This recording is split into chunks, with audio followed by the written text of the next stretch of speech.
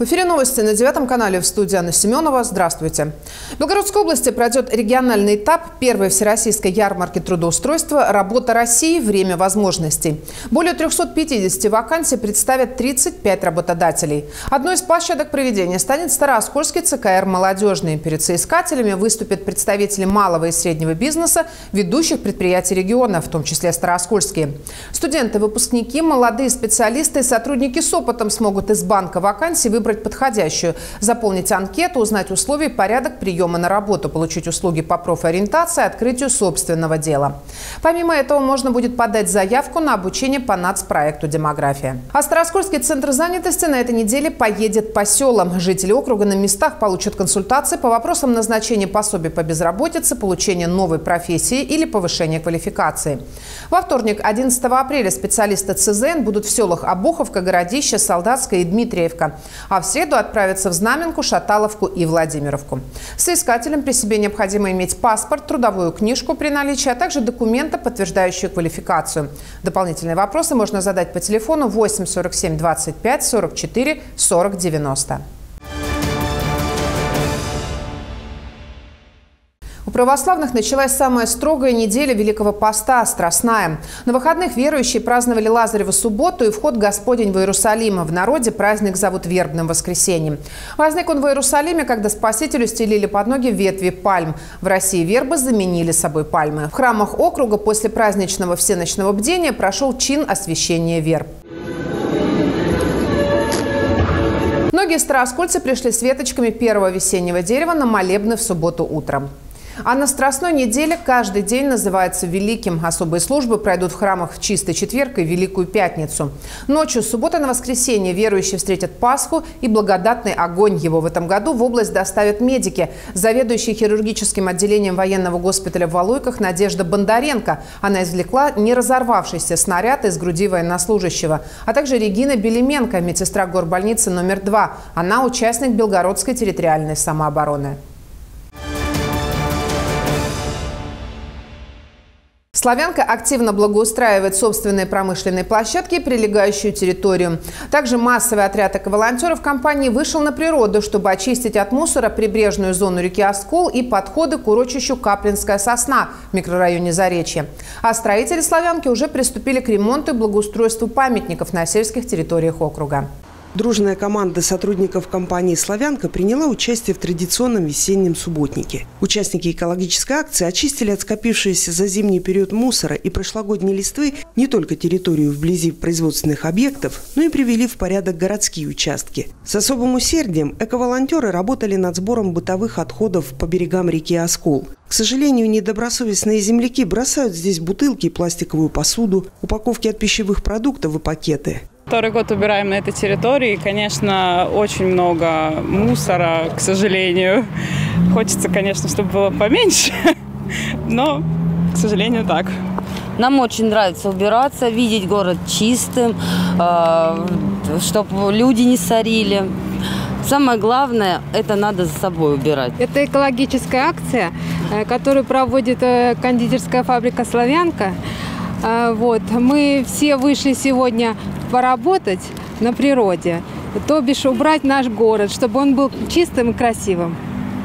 Хочется обратиться ко всем жителям нашего города, чтобы поддерживали чистоту, ведь приятно приходить на природу, когда э, чисто, убрано.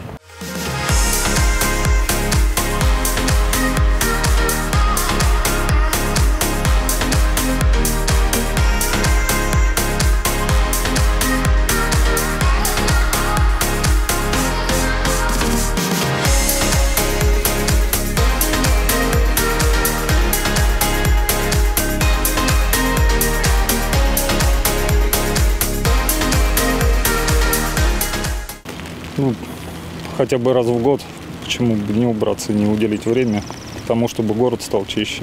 Много мусора надо убирать. Каждую весну доброе дело, надо почаще заниматься. Работу эко-волонтеров «Славянки» уже оценили местные жители и завсегда-то этих уголков – рыбаки. Они тоже стараются поддерживать здесь порядок. Но не все понимают важность поддержания чистоты на водоемах приятно видеть, что кто-то занимается. Не просто на показуху, а реально ходят и убирают. Поработали экоактивисты и в урочище Каплинская сосна, рядом с микрорайоном Заречье. Десятки мешков с мусором вывезены на утилизацию. А строители группы компаний «Славянка» начали приводить в порядок после зимы памятники воинской славы. Эти монументы, обелиски и братские могилы расположены в селах Преображенко, Потудань, Терехово, Лопыгино, Новокладовая, Федосеевка, Каплина, Набокина. Памятник в селе Роговатое капитально реконструирован на личные средства руководителя группы компаний «Славянка» Сергея Гусева. Старая скульптура солдата там заменена на новую из меди. Благодаря системному подходу к восстановительным работам и применению современных отделочных материалов, памятники сегодня находятся в хорошем состоянии. Тем не менее, после морозов, как правило, требуется косметический ремонт отдельных элементов, покраска, гидроизоляционные работы и благоустройство территории вокруг. Работа по поддержанию в достойном виде воинских захоронений и мемориальных композиций должна быть постоянной. Конце марта мы делаем объезд территории, которые прикреплены, скажем так, наши памятники. Осматриваем, создаем дефектные ведомости и на основании этих дефектных ведомостей принимаем решения по ремонту, э, косметическому ремонту памятников э, в этих селах. Это зачистка, шпаклевка, покраска отшелушившихся фрагментов, ну и обновление краски лакокрасочного покрытия. Для меня это просто считается ну, святое уважение, память, честь к людям которые воевали. Для меня это лично, потому что у меня бабушка с дедушкой воевали. Я все время каждый год жду, чтобы их делать. Попечительская забота о сохранении памятных мест – долг всех ныне живущих поколений. Работы по ремонту и благоустройству памятников строителями славянки будут завершены к майским праздникам. Евгения Ташманова, Евгений Левошко, Илья Самсонов, Девятый канал.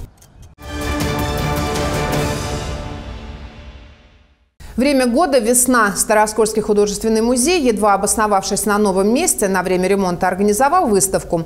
Весна объединила полотна 20 местных художников. Буйство цвета и света можно увидеть до конца мая по адресу улица Советская, дом 11А. За окном весенняя погода. На деревьях распускаются почки, зеленеет трава. Добавить в жизнь еще больше красок можно, посетив выставку «Время года. Весна». Остаться равнодушным невозможно.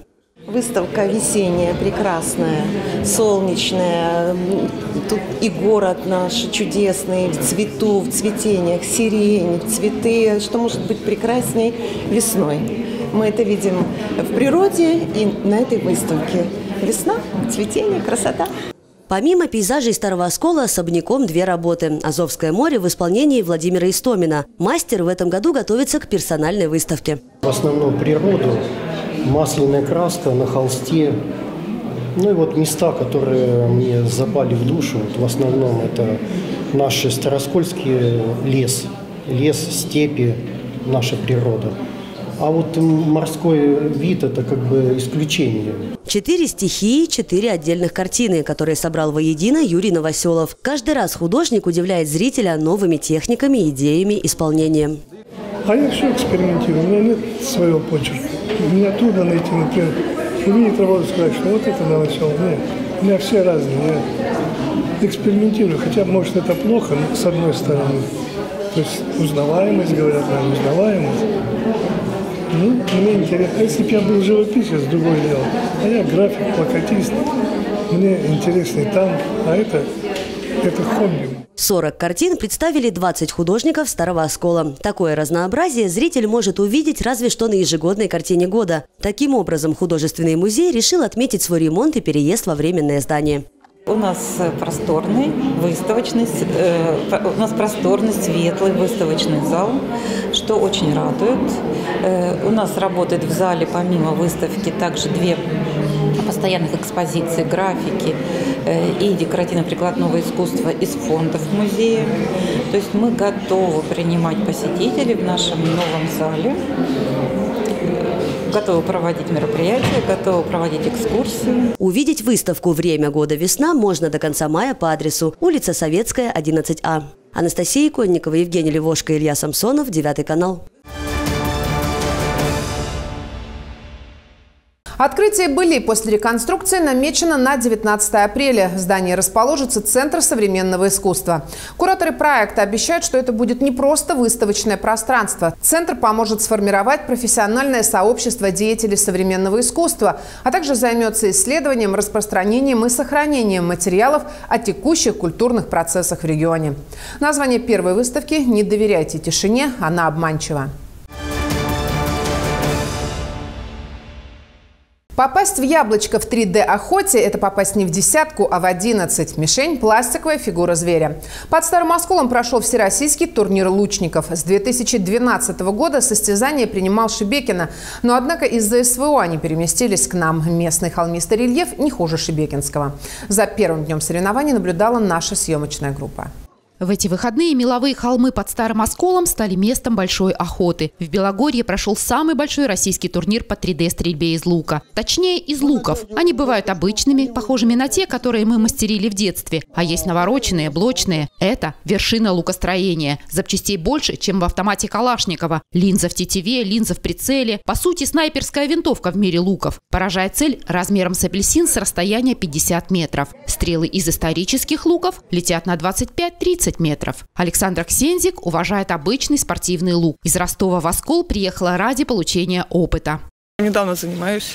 Э, буквально неделю назад э, у нас проходили ростовские областные соревнования. Я там заняла второе место. И надо набираться побольше опыта, чтобы лучше показывать результаты выше. Самое важное – это попасть в 11. На самом деле это больше работа над собой и борьба с собой. Мне, мне именно это нравится.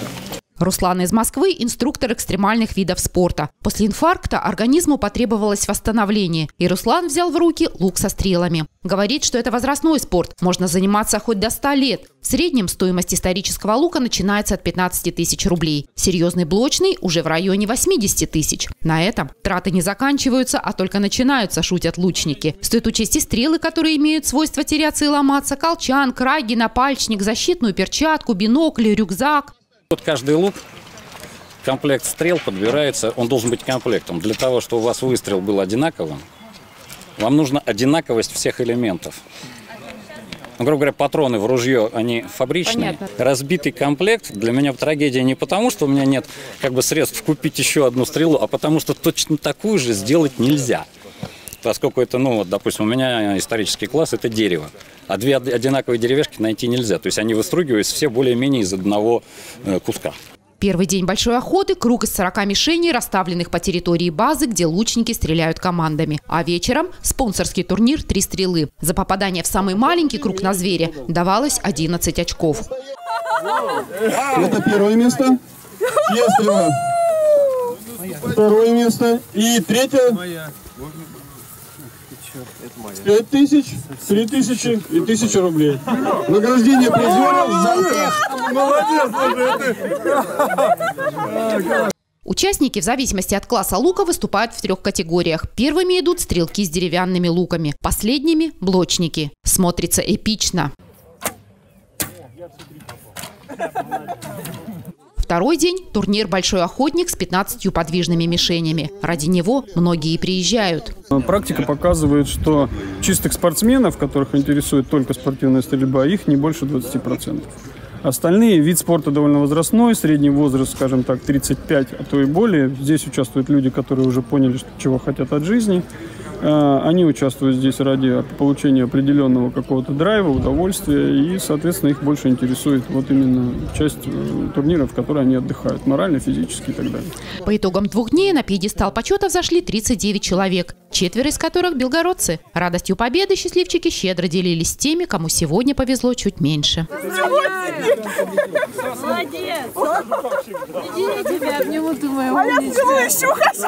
За титул самых метких стрелков боролись 200 спортсменов из 25 российских регионов и Беларуси. Но и те, кому удача в этот раз не улыбнулась, улыбались. Ведь сюда приезжают не только за победой, а за адреналином и общением с единомышленниками. Лариса Ульяненко, Сергей Кириченко, Илья Самсонов, Девятый канал.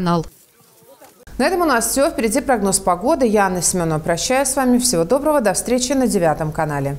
Еще немного и закончится Великий пост. Старооскольцы отменят воскресение Христово. Помимо куличей и расписных яиц, украшением стола точно станет икра и рыба камчатская. Богатый вкус, полный набор витаминов и микроэлементов. Я был на Дальнем Востоке, был на Камчатке, ел чебычу. Мне она понравилась. Постоянно покупаю. Чебыча там все прелесть. Во рту тает.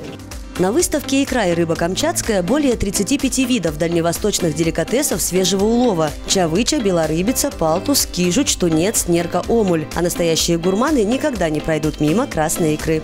очень э, хорошего качества. Здесь рыба, э, рыба, икра, э, большой ассортимент. Ну и она свежая, поэтому как только ребята сюда приезжают, я постоянный клиент. Это уже принято у нас. К столу всегда к праздничному берем икру. Вкусная, крупная. Приобрести рыбные деликатесы можно во Дворце спорта «Аркада» до 16 апреля включительно. Мой бюджет трещит по швам. Значит, срочно нужно к нам. Сохранит бюджет «Маяк». Цен высоких – злейший враг. Продукты, напитки, все для уюта и чистоты в доме. «Маяк», первой конной армии 67А и Ватутина 38А. Те, у кого плоскостопие, кто страдает от мозолей и натоптышей, люди с широкой стопой, выступающей косточкой и высоким подъемом знают, как тяжело подобрать удобную обувь. И именно такие туфли, ботинки и сапоги от белорусских производителей представлены сейчас в ТЦ «Валенсия» на передвижной выставке ярмарки. Обувь выполнена из высококачественных материалов, подошва у нас идет спененный каучук. За счет этого подошва весит не более 200-300 грамм. Стельки у нас в обуви идут анатомические, что очень удобно. Данная модель имеет резиновые шнурки, что очень хорошо обувается на высокий подъем, на полную ножку. Несмотря на то, что у нас передвижная ярмарка, мы даем также гарантию, как и в обычных магазинах. То есть 30 дней гарантия. Цены у нас идут от 2000 и самые большие 3 900 это прям сапоги осень. Наша обувь в основном идет для пожилых людей, потому что начинаются проблемы с ногами у нас уже более во взрослом возрасте, поэтому очень легко подобрать. Также у нас есть модели, кстати, и не на проблемные ноги, на обычные. Есть разные модельки, которые можно подобрать. Модели действительно разные, на разную погоду, разного цвета, разных размеров. От 36 и до 44 у женщин и от 40 до 49 у мужчин. Но все их объединяет одно – комфорт. Как в тапочках, признаются покупатели. Подобрать нужную пару от Витебской фабрики помогут продавцы-консультанты. Они расскажут обо всех достоинствах этой обуви. Обувь очень качественная, сделана из телячьей кожи. Подошва не лопается, подошва хорошая сделана. Она гибкая и прочная, лопаться не будет. Мужчины больше выбирают классические. Ну, у кого проблемная нога, подходят и спортивные, широкие, с высоким подъемом. Цвета есть разные, как светлые, так и темные. Оскольчане давно оценили и полюбили качество белорусской обуви, поэтому многие возвращаются, чтобы купить вторую пару. Платье купила два года, проносила. Замечательно.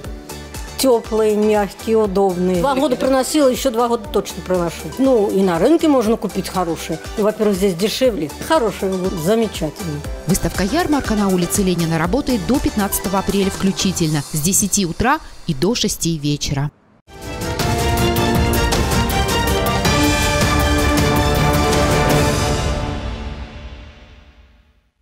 Студии Лариса Ульяненко. Здравствуйте! Вы знали, что простенькая медуница за весну меняет цвет четыре раза. Распускаясь, становится розовой, потом пурпурной, затем фиолетовой и, наконец, предстает перед нами синий.